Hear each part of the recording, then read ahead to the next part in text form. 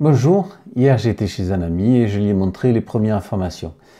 Il m'a dit que le sujet était intéressant, par contre que j'avais l'air tendu comme une arbalète, alors je vais essayer de me soigner et d'être un petit peu plus détendu devant la caméra, même si ce n'est pas facile de parler en même temps que de naviguer et d'enregistrer du contenu.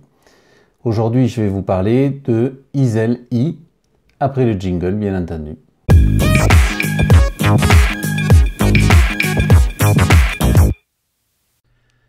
Easel.ly est sur le même concept que canva.com. Canva.com c'est pour créer des photos. Ici vous allez pouvoir créer des graphiques et du visuel euh, que vous allez pouvoir utiliser pour faire du contenu. Euh, donc euh, c'est assez facile à utiliser. Il faut bien sûr s'enregistrer. Vous avez vos visuels qui sont ici, les visuels publics que vous pouvez récupérer et qui sont gratuits. Éventuellement, vous pouvez payer et devenir pro euh, pour 3 dollars ou 2,73 euh, euh, euros par, par mois, ce qui fait à peu près 36 dollars par an. Et là-dedans, vous allez pouvoir trouver 680 000 images gratuites, des polices de caractères, etc., etc.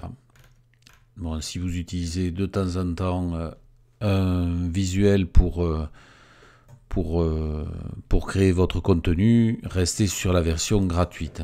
Donc pour créer un, contenu, vous avez tout un tas de, de contenus que vous pouvez utiliser, mais vous pouvez aussi chercher sur un mot-clé des choses qui ont déjà été créées.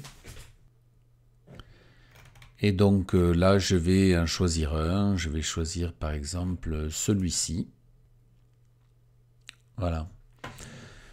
En haut, je vais retrouver les thèmes euh, que l'on vient de voir. Là, je vais pouvoir rajouter des objets. Par exemple, je vais rajouter une personne. Alors, le mieux, c'est de le mettre en anglais. Donc, je vais rajouter cette personne. Voilà, je vais la rajouter ici.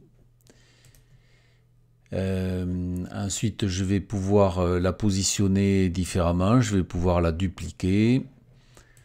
Il est évident que ça fonctionne comme sur Canva. Vous pourrez prendre la poignée sur la gauche et augmenter la taille. Je vais la faire passer derrière. Je le fais passer derrière. Là, on voit en l'occurrence que c'est transparent. Ensuite, euh, ça c'est le, fond euh, que l'on peut changer. On peut changer la couleur ou la texture. Donc on va rester euh, sur ce que nous avions. Ensuite, on peut dessiner. Donc je vais par exemple faire une droite ici. On peut changer bien évidemment la couleur on la sélectionne, on change la couleur, l'opacité, le type de trait. Ensuite, les formes, ça fonctionne pareil. Donc, on va prendre euh, n'importe laquelle. Hein. Puisque c'est pour un exemple, on la prend, on la clique sur le document, on l'augmente, on change la couleur, on change euh, la position. On peut y mettre même de l'hypertexte. Ensuite, euh, du, texte. Donc on va mettre un titre ici. On va double-cliquer dessus.